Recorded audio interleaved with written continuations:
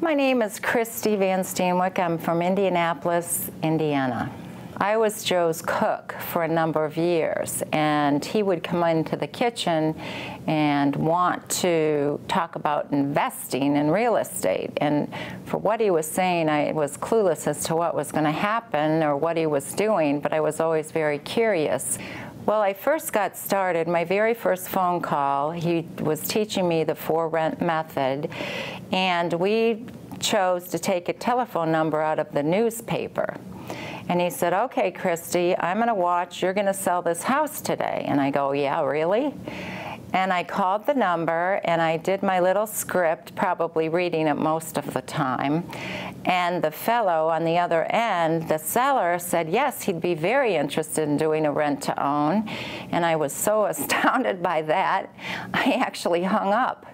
And I said that I have to go ahead and consult with my partner to see what we do next. So that was my first deal. And I was very embarrassed and I wasn't very intimidated by the whole process. So that's how it worked.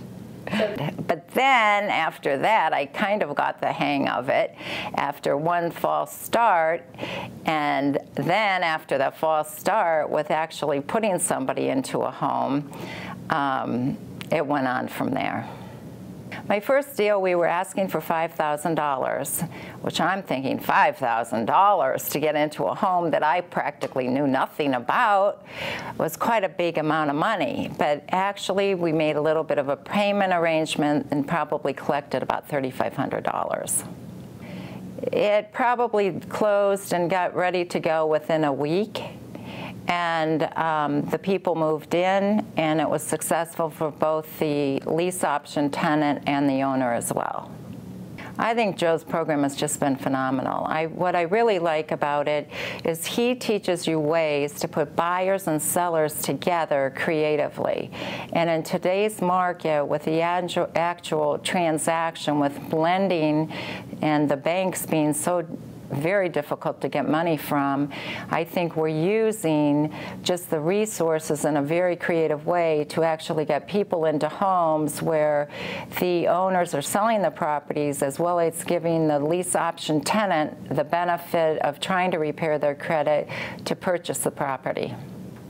Joe, he's just such a quiet, humble guy, and it works. It really works. And I think the major part, part of, of, that is just you as a student and being having Joe be your mentor as you gaining the confidence to be able to do these deals.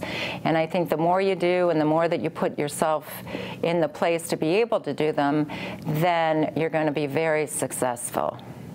Joe is the only one that I ever came across, um, and I followed his program, and it's just led me on to really wonderful things. So um, I'd stay by him in a heartbeat.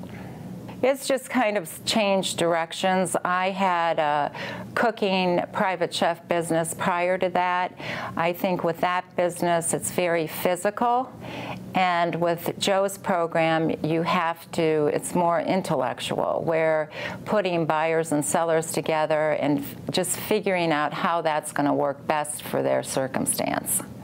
I, I was both doing the personal chefing business and doing Joe's business or Joe's program at the same time. And then when the program got a little bit more demanding or selling homes, lease option and subject to, um, I was able to let go of that cooking.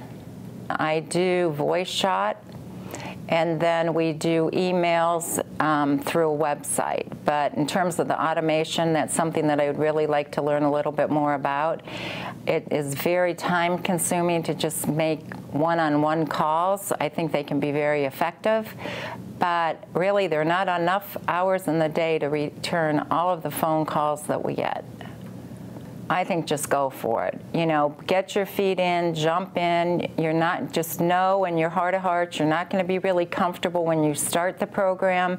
But as you do deals, each deal you do is going to build your confidence and you're going to be able to do more and more. And you will be very successful with what you do.